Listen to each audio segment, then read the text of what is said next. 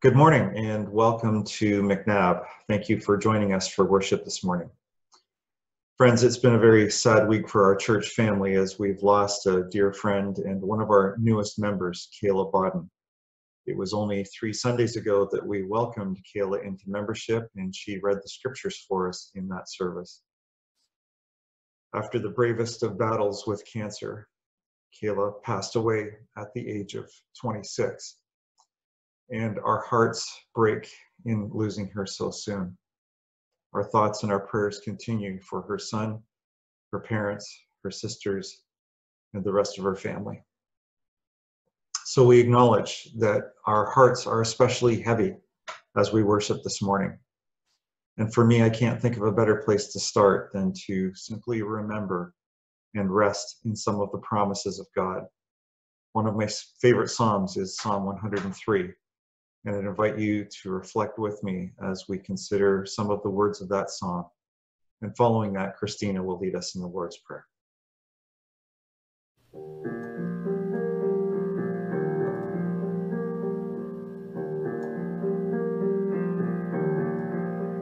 Praise the Lord, my soul. All my inmost being, praise his holy name. Praise the Lord, my soul, and forget not all his benefits the Lord is compassionate and gracious, slow to anger, abounding in love. He will not always accuse, nor will he harbor his anger forever. He does not treat us as our sins deserve, or repay us according to our iniquities. For as high as the heavens are above the earth, so great is his love for those who fear him. As far as the east is from the west, so far has he removed our transgressions from us as a father has compassion on his children, so the Lord has compassion on those who fear him. For he knows how we are formed. He remembers that we are dust. From everlasting to everlasting, the Lord's love is with those who fear him, and his righteousness with their children's children, with those who keep his covenant and remember to obey his precepts. The Lord has established his throne in heaven and his kingdom rules over all. Praise the Lord, you his angels, you mighty ones who do his bidding, who obey his word. Praise the Lord, all his heavenly hosts, you his servants who do his will. Praise the Lord, all his works, everywhere in his dominion. Praise the Lord, my soul.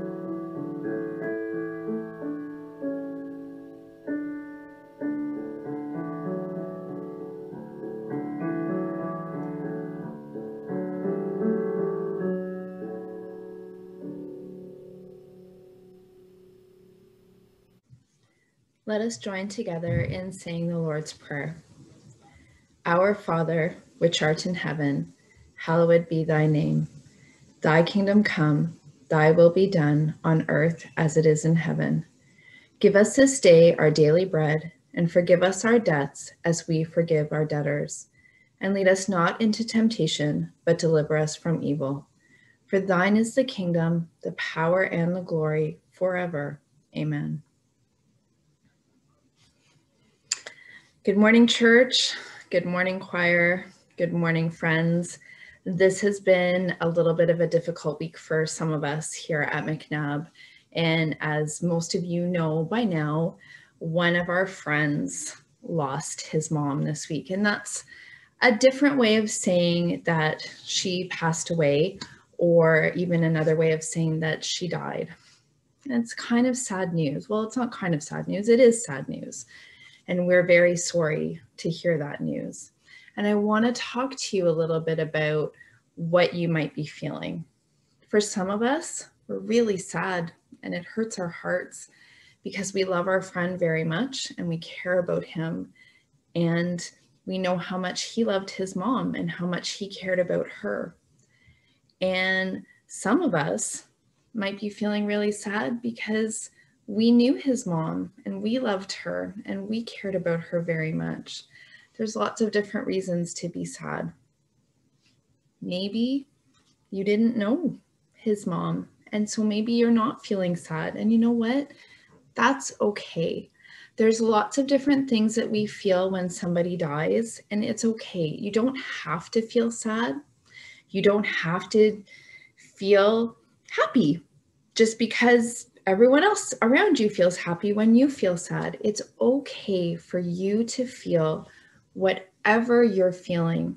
And you might not be sad today, but you might be sad next week. You might be sad next month. You might be really sad today, and you might be happy next week, and you might be happy next month. It's okay.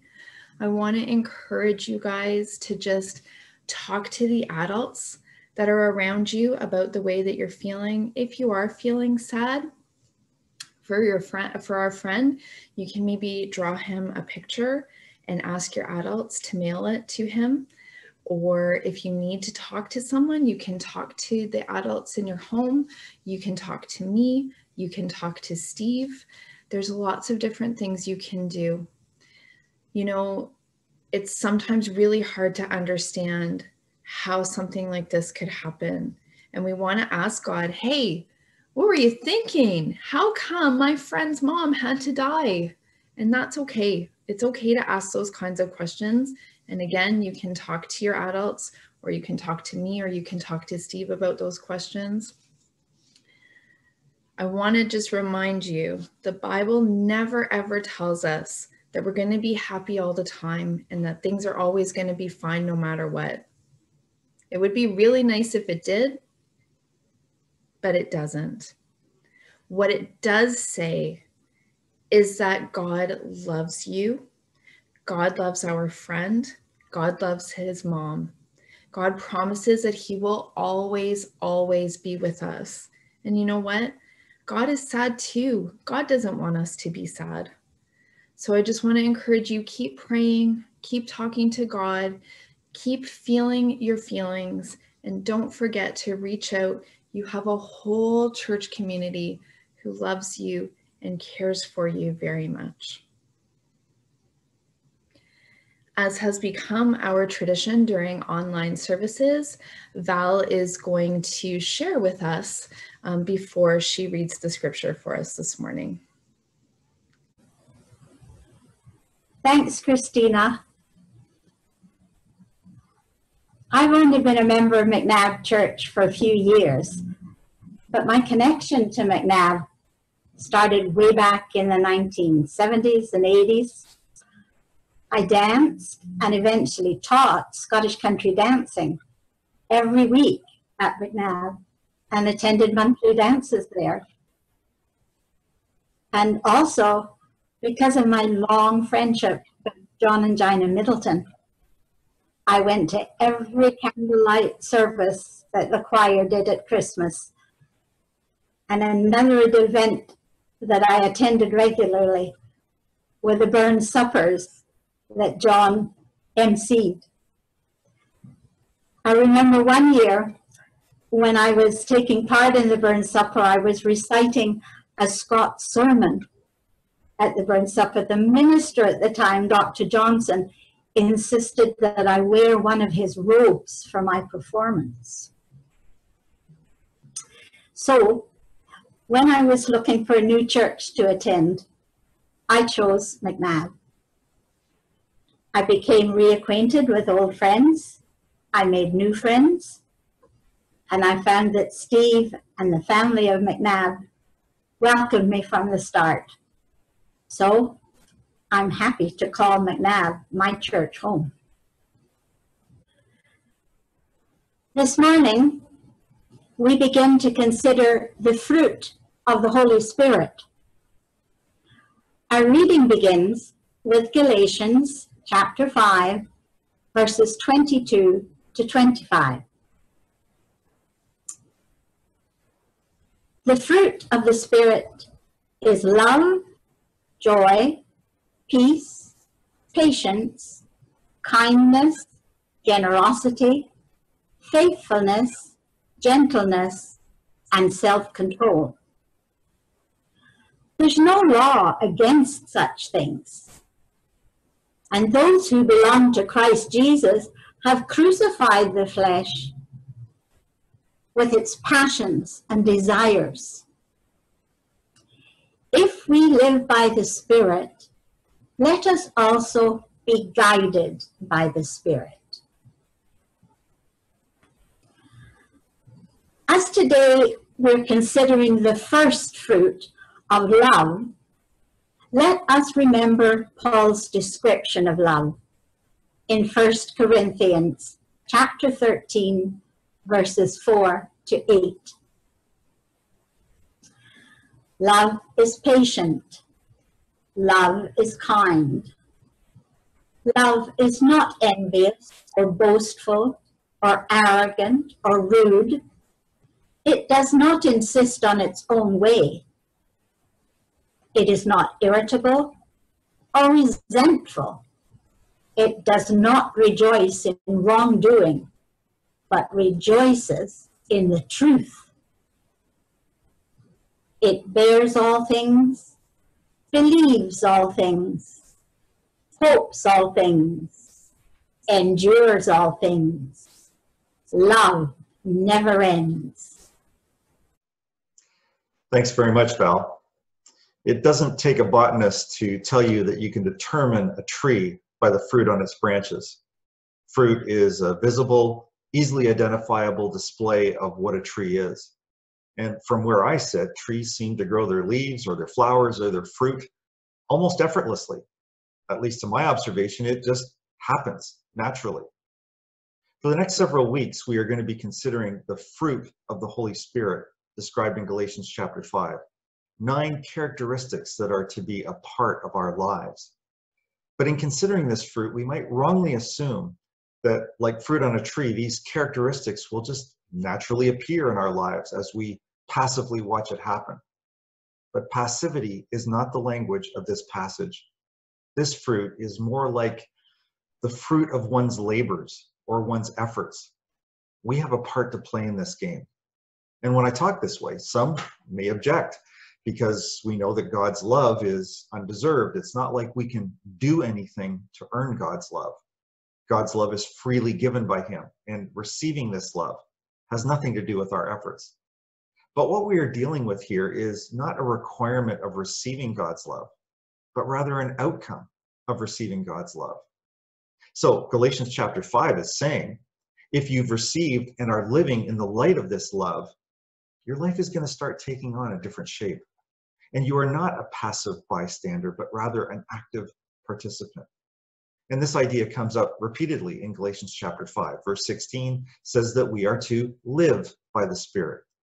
Verse 18 says, if you are led by the Spirit, and for me to be led infers that I am actively following. And verse 25 tells us that we are both to live by the Spirit and also be guided by the Spirit. So we have a role. We participate, being led by, living by, and being guided by the Holy Spirit. And we are in turn to bear the fruit of the Spirit in the form of these nine characteristics love, joy, peace, patience, kindness, goodness, faithfulness, gentleness, and self control. Last week, we reflected on this bizarre season of 2020 that we've just lived through, and now 2021 that we're continuing to live through, the restrictions that we have to observe due to the pandemic. And this past year and the foreseeable future sometimes feels like just one prolonged wait waiting for things to get back to normal. And we can equate time waiting as time wasted. So last week, in that light, we considered the life of a man named Simeon, who probably spent a lot of his time, a lot of his life waiting. He was waiting for the fulfillment of a promise that he would behold the Messiah. That meant getting to see Jesus before he died.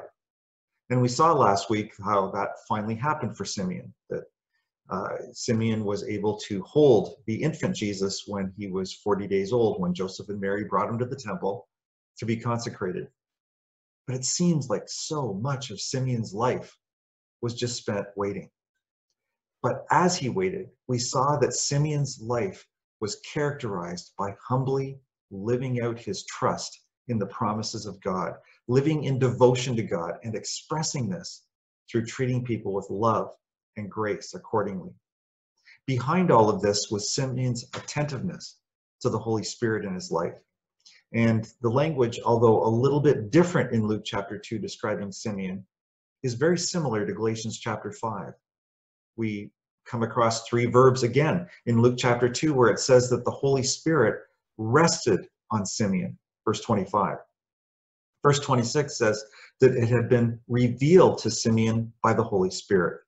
And verse 27 says that he was guided by the Holy Spirit. The Holy Spirit is that perfect, self giving love that flows between God the Father and God the Son. And that self giving love formed the fabric of Simeon's life and transformed what might have appeared to be time waiting and maybe time wasted. It transformed that into time invested in trusting God and serving others. So for us, this series on the fruit of the Holy Spirit is about us cultivating that same awareness and devotion that might inform and energize our lives in a way that also blesses others. And yes, in a period of our lives where it just feels like we're waiting. We may be waiting, but we are to be anything but passive, starting with this morning's first fruit, the fruit of love. When I talk about love, we need to be careful in distinguishing what love is.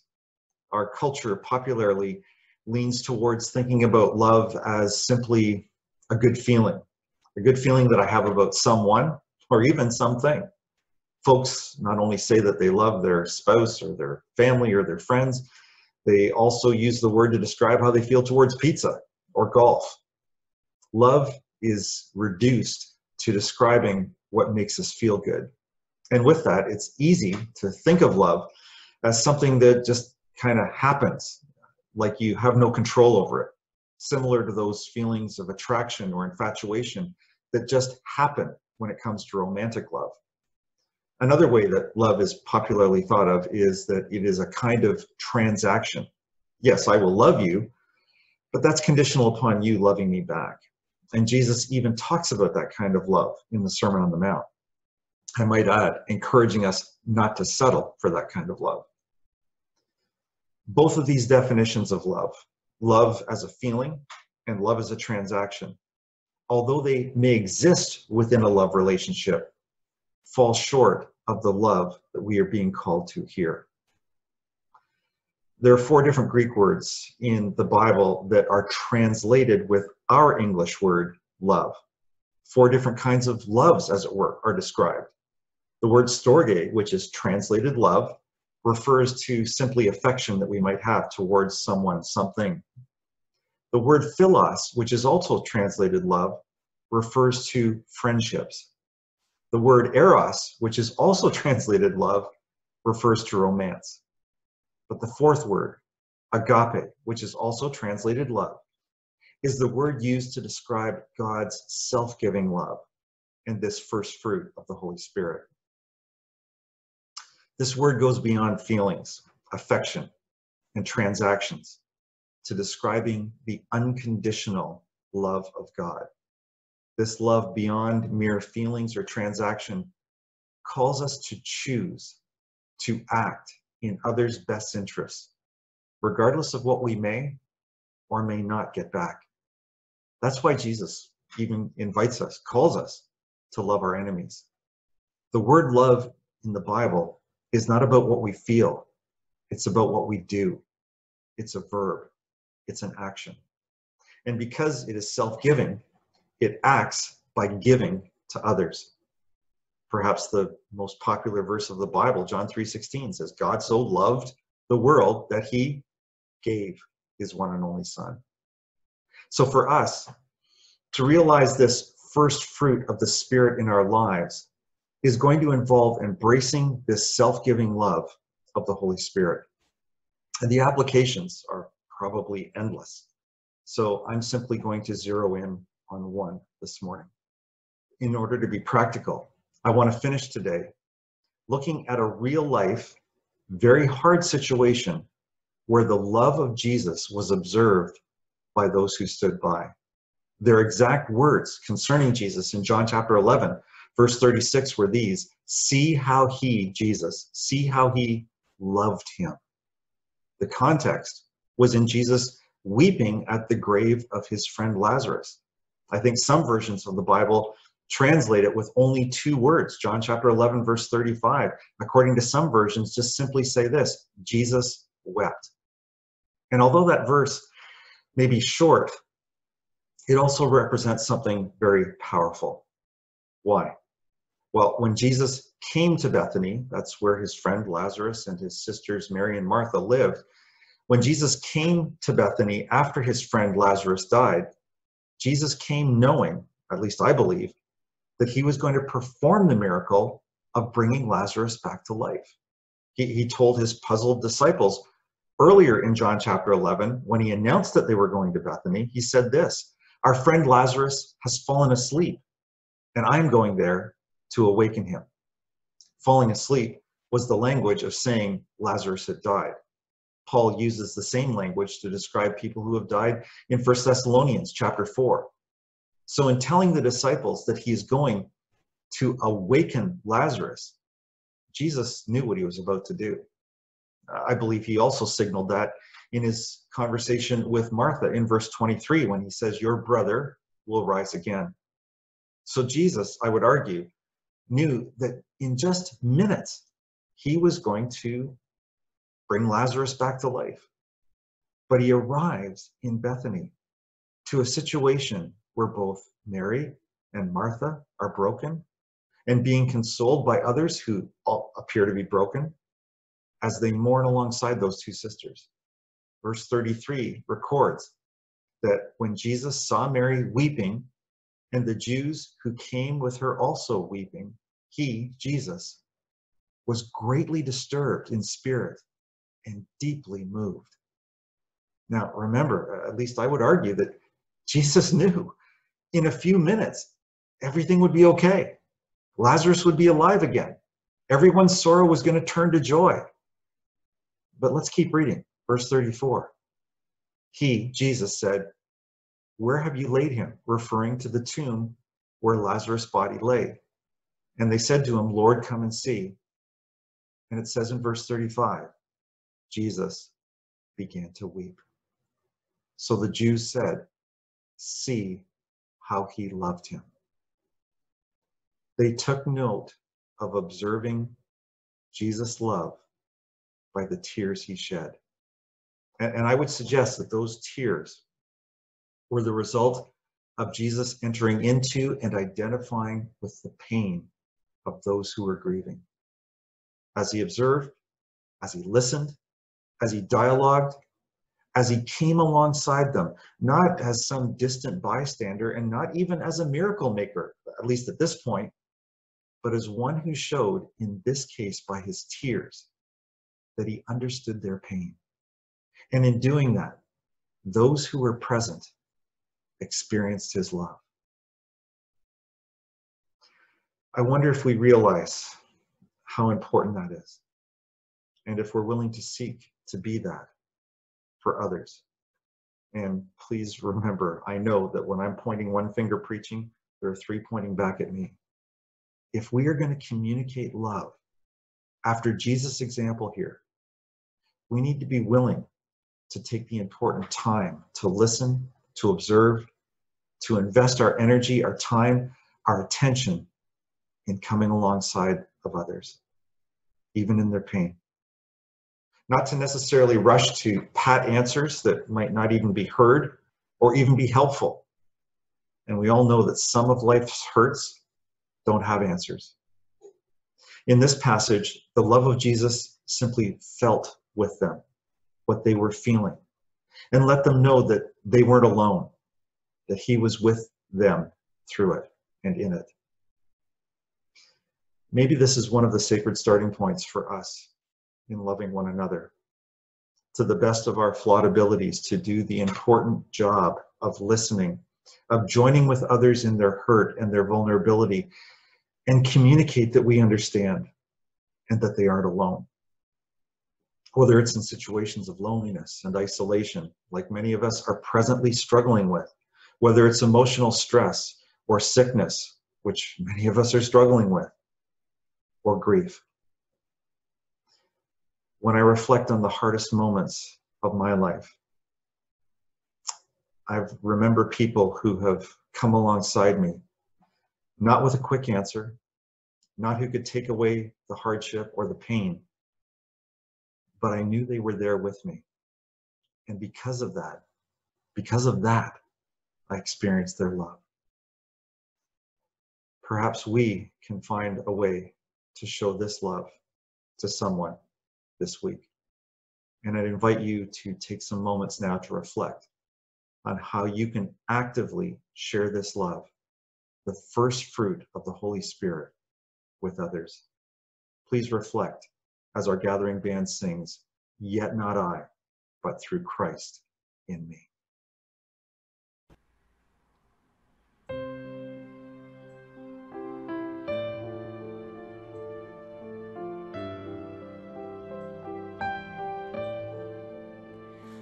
Gift of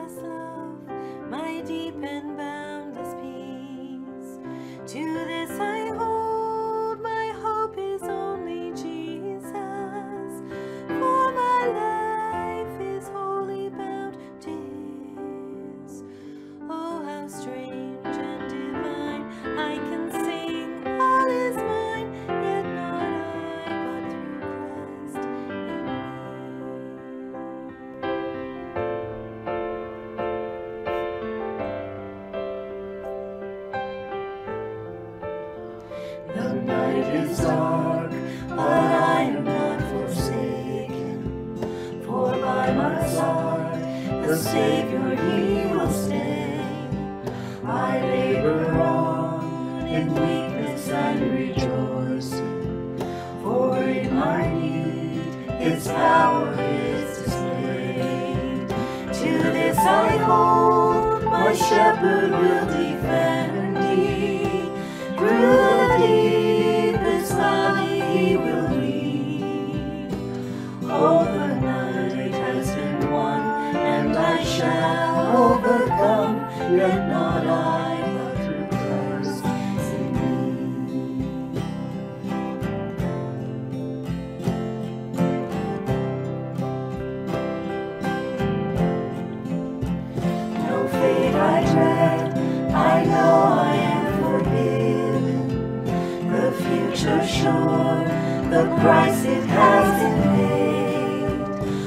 Jesus bled and suffered for my pardon, and he was raised to overthrow the grave.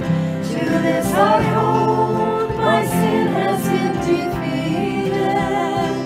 Jesus now and ever is my plea. Oh, the chains are released. I can sing. I am free, and not I,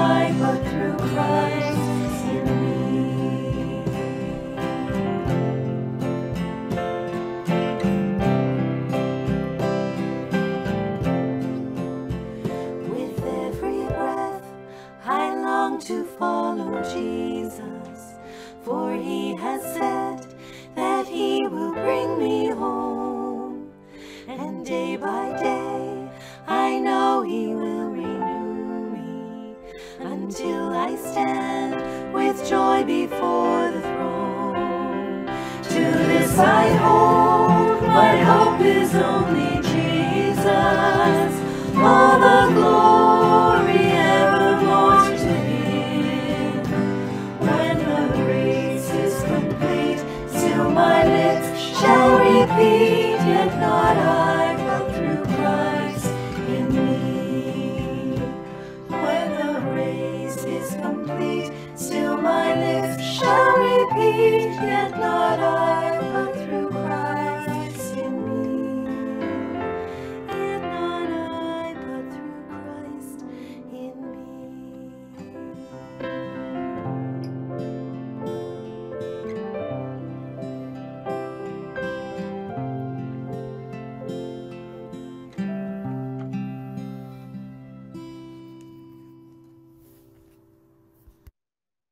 Thanks so much, Gathering Band. Let's join our hearts together in prayer.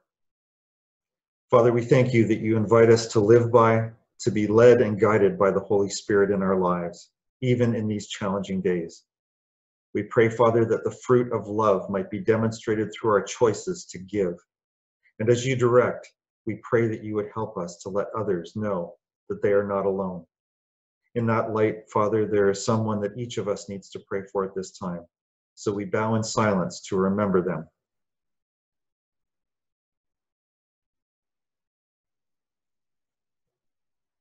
Father, thank you that you hear us and that you help us. We want to share your love with others. And we pray, Lord, all of these things in Jesus' name. Amen. Thanks for joining us today for our worship. Following the service, there is a Zoom coffee fellowship at 1045. If you'd like to receive the link to attend that, just write me at macnabstreet at gmail.com or write me at the same address if you want to be added to our mailing list to receive weekly updates about what's happening here at MacNab. And now may the Lord go before you to lead you. May the Lord go behind you to protect you. May the Lord go beneath you to support you. May the Lord go beside you to befriend you. Do not be afraid. May the grace of our Lord Jesus Christ, the love of God the Father, and the fellowship of the Holy Spirit be with you all. Do not be afraid. Go in peace to love and serve the Lord together. Amen.